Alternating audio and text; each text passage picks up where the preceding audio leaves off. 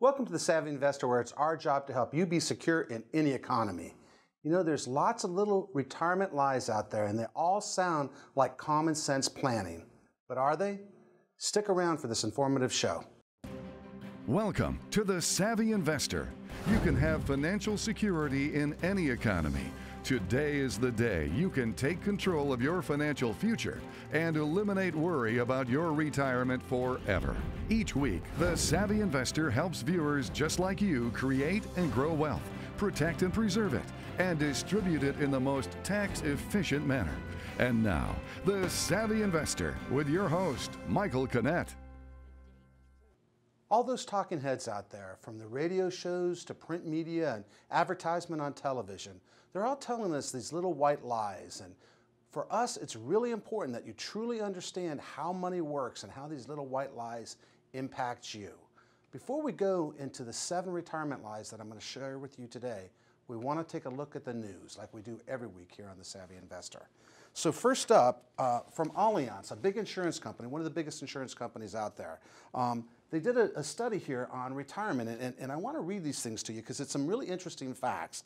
And what they came up here with is that um, people age 55 to 65, 10 years away from retirement, they report they are unsure of how much money they're going to need during their retirement years. That means they haven't even begun to think about how much money is it going to take for me to retire in a comfortable manner and that's 10 years from retirement. Now, this, this survey goes on, this report goes on to say that uh, over 40% of them have no realistic idea of what it actually costs to retire, and they have no realistic idea of how much they need to save, which is very, very scary considering they have less than 10 years to retirement. And, and I thought this was really interesting that 43% of them say they're not even going to focus on retirement income planning. They're not even going to think about it until they're within three years of retirement. And almost 16% say they're not even going to start until they're less than a year away. So think about this. They're planning for 30 years of their life in six months' time. That is just absolutely crazy. Now, that's from Allianz. Now, uh, another, another article that I just saw here, it's, uh, it's from her book, uh, Suze Orman, and I've said it over and over uh, time again, she drives me crazy. I mean, she's a horrible driver. We've seen that on the, the commercials. But she does have some interesting things to say. And from her book, The Road to Wealth, she says here um, if you do not want to take any risk but still want to play in the stock market, a good index annuity might be right for you. And the reason why she says this is that annuities can be conservatively accumulated assets to help cover fixed living expenses in retirement and have successfully protected the life savings of many Americans. So, what she's talking about here is that conservative investments. That's what I want us to focus on. She's talking about using conservative investments for retirement planning. And finally, Ed Slott, probably the nation's retirement expert, certainly IRA expert, IRA experts. You've seen him on PBS and shows like that. And what he says here is that you have a silent partner in your IRA. You have a silent partner with the IRS, and he tells this really great story in his book, The Retirement Savings Time Bomb. I was reading through it just recently, and he's got this great story in there about this man. He inherited money from his father. And when he inherited money from his father, by the time he got paid, done paying income tax, estate taxes, and the stinky little sneaky tax called excise tax, he was going to have to pay 103% in taxes. And he took it to court. And fortunately for him, he was able to find a sympathetic judge that told the IRS, you're not allowed to take more than 100% of anybody's money. You can't take more than 100% out of anybody's IRA for tax purposes. So the good news is he didn't have to pay 100, 103%. The bad news is the court did let the IRS take 100% of the IRA. So the point here is that you have a sneaky little silent partner in the IRS in your IRAs and your retirement accounts. Now, we're going to sit down and we're going to have a conversation about those retirement lies out there. And from my perspective, there's seven of them. And they're very scary. Stick around and we're going to reveal them to you as soon as we get back.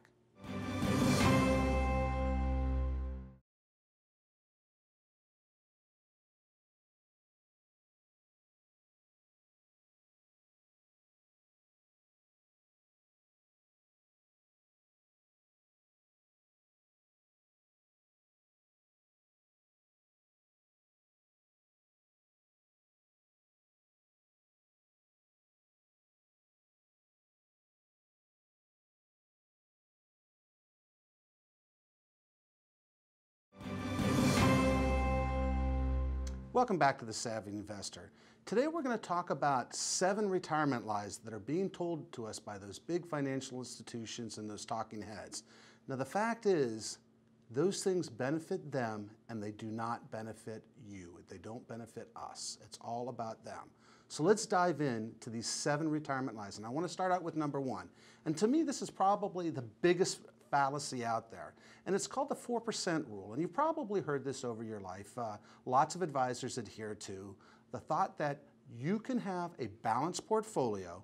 And when you have a balanced portfolio, let's say 50% equities and 50% bonds, just for, for simplicity's sake, that if you have a balanced portfolio, that you can take out about 4% per year. So, for example, if you have $100,000 in your portfolio and it's half stocks and half bonds, every year you would withdraw $4,000 from it. Now, here's the problem with that philosophy. In the 90s, that worked extremely well. And if you think about it, the stock market was up 10 and 20% every year, and so that making a 4% withdrawal never impacted you because 4% after you got a 10 or 20% return, you had more money at the end of the year than you did at the beginning of the year. So clearly, 4% withdrawals in an upward market works extremely well. But what happened over the last decade? How has that worked out over the last decade? And, and think about this. In 2000, let's say you retired in 2000, the stock market was down 20%. So if the stock market's down 20% and you had to take out four because you wanted your 4,000, all of a sudden you have 24% less money at the end of the year. You're down to 76,000 from your 100,000. Now, next year, 2001, the stock market was down 25%, and you still wanted to take your 4% out. So now we are down 29% that year. And the following year, 2003, think about it this, excuse me, 2002, the stock market was down another 20%. So at the end of three years, you are down over 75% from where you started. And if you think about it, I wrote out some numbers here because it's kind of interesting. The, the fact is, is that at the end of the first year, when, when the market was down that 20% and you took out 4%, in order to create the same $4,000, you actually had to take out 5.3% the next year. So when the market was down 25%, you were down a little over 30 with your withdrawals. And as a matter of fact, by the time you got to 2001, uh, 2002, you had to take out over 7.5%. And 2003, you had to take out 10%. And, and I just want to show you some math here on how this works. So if we bring this up, let's say, for example, at the end of the first year, you had $76,000 left, right? Because you started with 100, you lost 20%, which is 20,000. You took 4,000 out, so now you're at 24, uh, 24,000. So that gives you 76,000. So 76,000, and this is where you know Mrs. McCarthy really paid off for math for me. Um, $76,000 is what you have, and you're trying to get $4,000. Well, you have to divide both sides by 76,000. So 4,000 divided by 76,000 equals 5.26%. So think about that. By the time you got to 2003, you had to take 10% out, and you're running out of money. So the question I have for you is, if you think about it from this perspective, 90s it worked really well. So in an up market, we know it works really well. The last decade has been sideways at best, up, down, sideways. It hasn't worked out so well over the last decade, and we've already shown you that if you retired in 2000, you'd be running out of money today, if not already out. So does the 4% really, rule really work in a down or sideways market? And I don't think it does. I don't think that's probably the direction you want to go. Now, Think about this. Those big institutions still have all over their websites, take out 4%. So I think that's one of the biggest fallacies out there.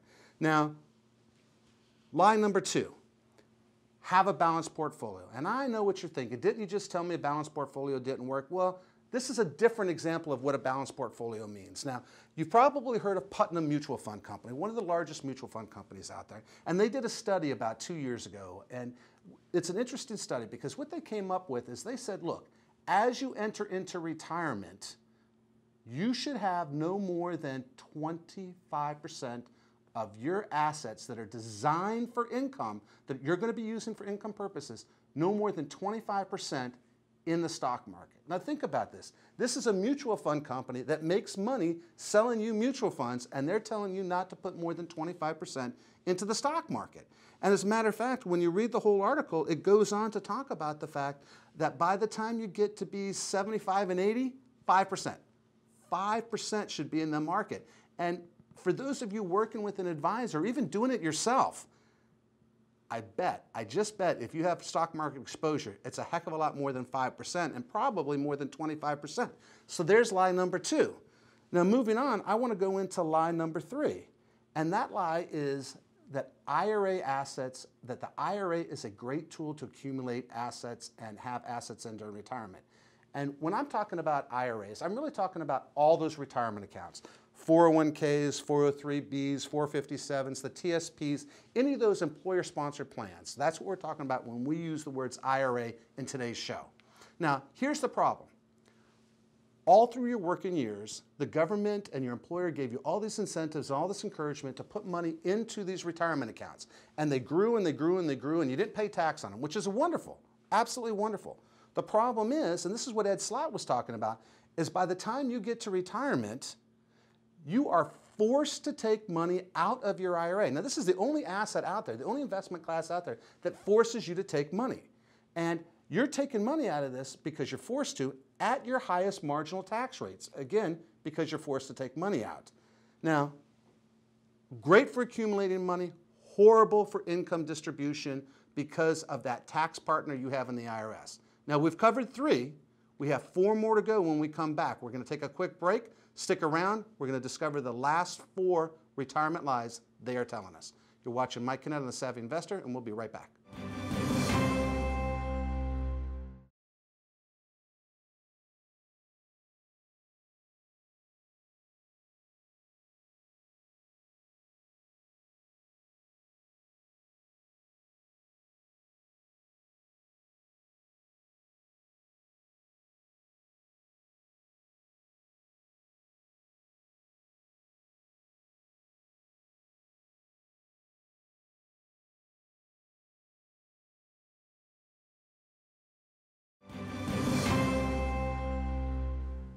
Welcome back to The Savvy Investor. I'm your host, Michael Canet.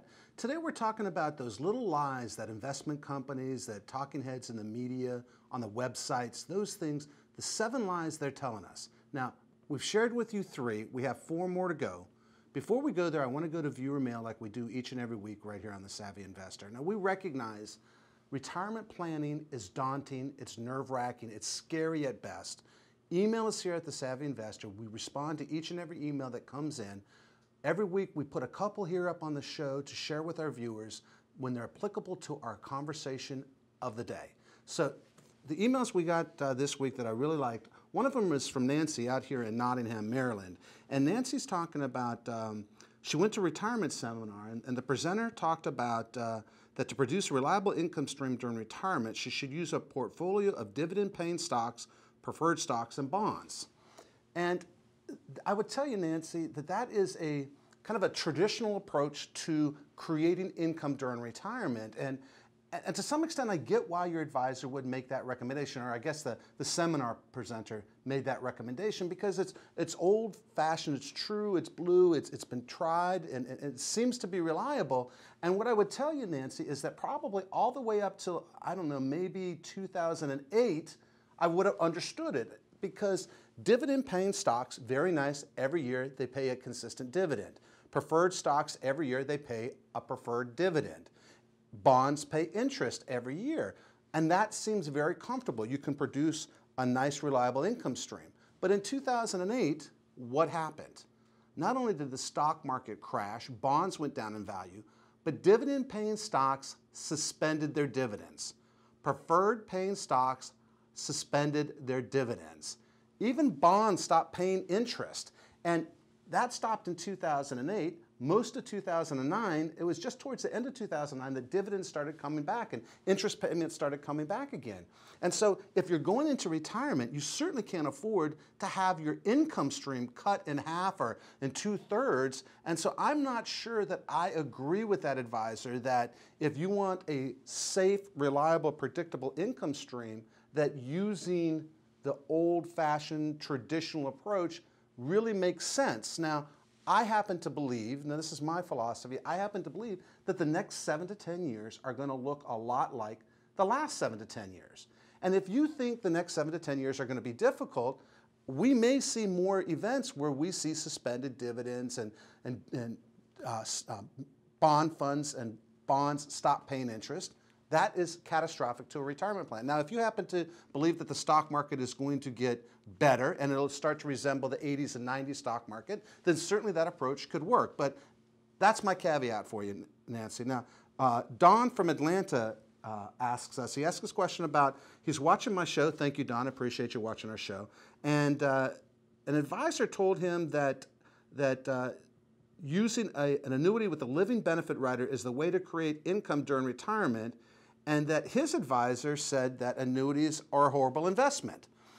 Well, you know, Don, I hate to put it this way. Your, your, your advisor is probably right. Annuities are a horrible investment. But from my perspective, annuities aren't an investment vehicle, but that's not what they're designed to be used for. And like any tool out there, and we say that this every week here on the Savvy Investor, there is the right tool for the right reason and the wrong tool for the wrong reason.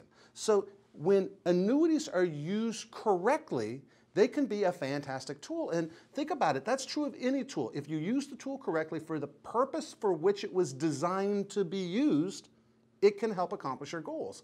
And from my perspective, and here uh, uh, at the Savvy Investor, we think that annuities are good primarily for producing steady, reliable income streams. Now, your advisor can, can disagree, and I'm okay with that. There's more than one ways to approach it. We just talked to Nancy about using preferred stocks and such to produce an income stream. What I would ask your advisor if I was you is to sit down, create a plan for me in writing, and show me how you're going to create a guaranteed retirement income stream for me and if you're married, your spouse. And if he can show you a guaranteed way to do it, well, then that's a viable option. But if you're looking for the, the safety that annuities produce, that provide to you, you know, if you want those guarantees like bank guarantees with FDIC or insurance with insurance you know, companies that guarantees, or even the federal government with how they guarantee their money, there's a sense of security and sleep at night when you do it that way. Certainly you can take the more traditional approach, but from my perspective, why take the risk if you don't need to? I would have that conversation with your advisor, Don. Thank you very much. We appreciate it. And Don, we appreciate you uh, watching the show. Um, so let's go back now. I want to get back to the seven, the seven lies. We've talked about the first three. We talked about the 4% withdrawal. We talked about a balanced portfolio. We talked about IRAs and the silent partner you have in the, in the IRS. And I didn't really mention this, so I, I want to go back to that for just a minute. Remember now, you have to take money out of your IRA every year. And failure to take money out of that IRA is a 50% penalty for goofing that up. So you think about that 50% penalty for goofing it up. And I just wanted to throw that out there. Plus, if you're not careful, it makes your, tax, uh, your Social Security taxable. So there's a bunch of problems with having money in IRAs and better solutions to that problem down the road. Now, number four, let's go to number four here. Annuities are bad. Well, that's on my list. Unfortunately, Don asked us that question. And same thing I just said to Don. The fact is, is that annuities aren't good. They're not bad. Annuities, well, they just are. It's like saying mutual funds are good or mutual funds are bad or stocks are good or bad. They're not good or bad. They are the right tool for the right reason. If they are used the way they're designed to be used, they can be a good tool. The problem is that there's people out there that think it's one size fits all and an annuity is a solution for everybody. Well, that's just not true.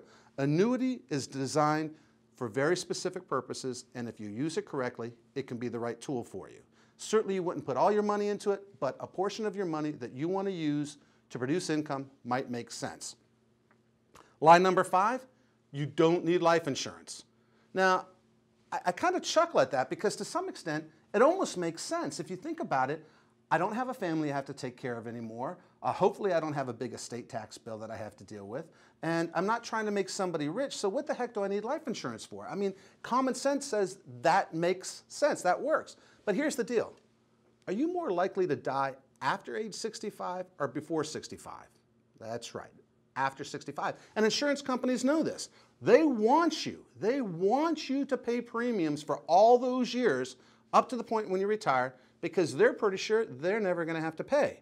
Well, there's only a couple things that are certain death and taxes. So imagine if you had a life insurance policy, because you know you're going to die, somebody is going to get tax free money. And you know, I know tax free, it's kind of like that catnip for Americans, but the fact is, is that tax free money is a wonderful financial security tool.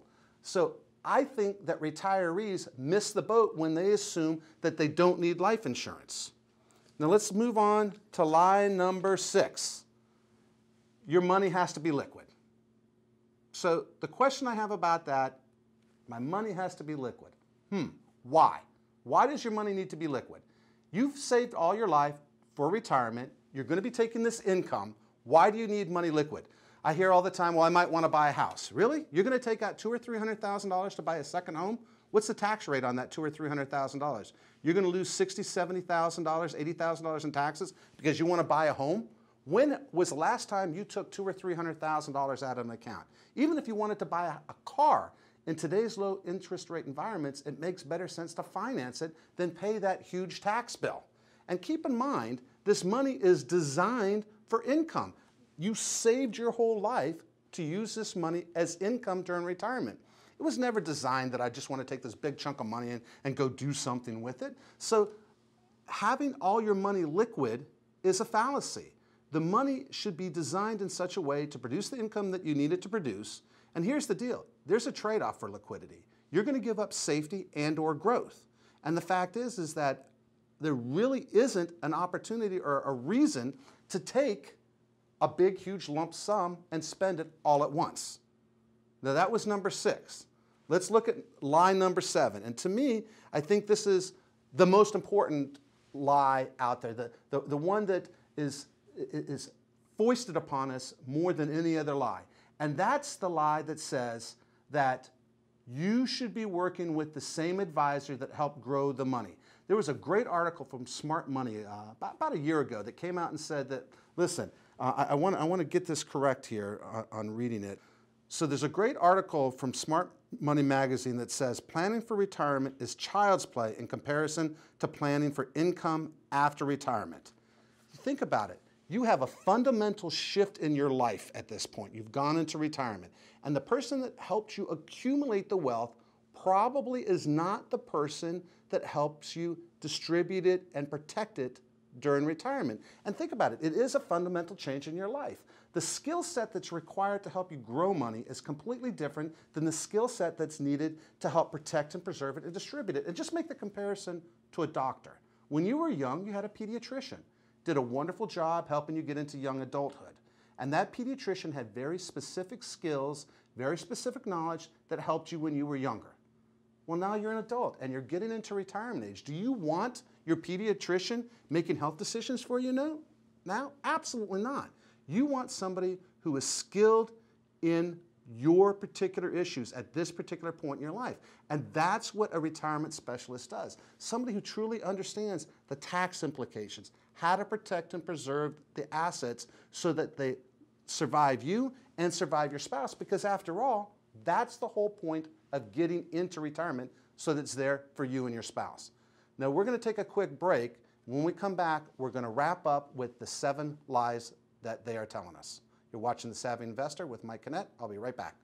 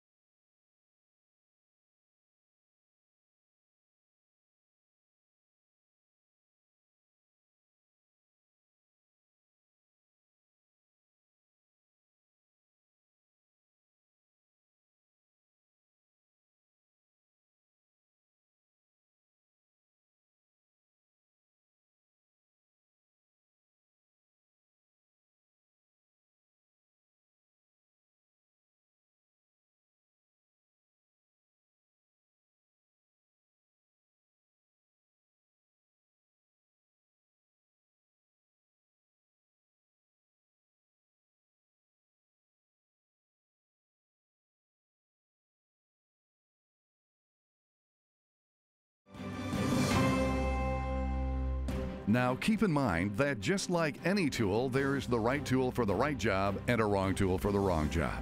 We have just scratched the surface here, and you'll want to know more about how today's conversation might or might not fit your needs. Ask about fees, surrender charges, market risk, interest rate risks, how the guarantees work, liquidity, and much more. Remember, the right tool for the right job. Welcome back to the Savvy Investor. On today's show, we talked about those seven retirement lies that those institutions and talking heads have been telling us.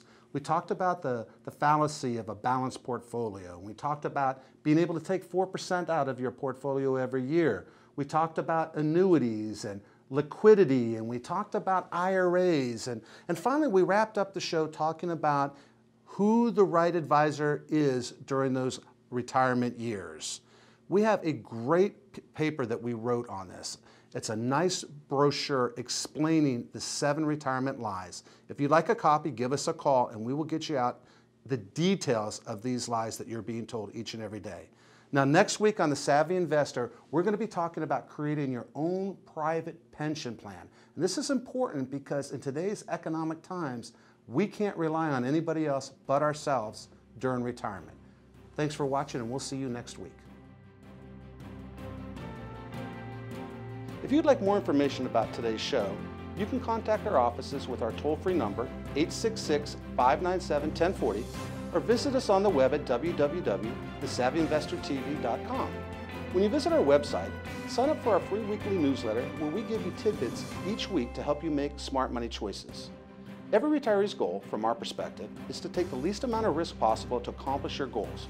Too often, financial advisors and stockbrokers assess your risk tolerance just because you can tolerate the risk doesn't mean you have to accept it. Remember, at the end of the day, it isn't how much you make, it's how much you keep.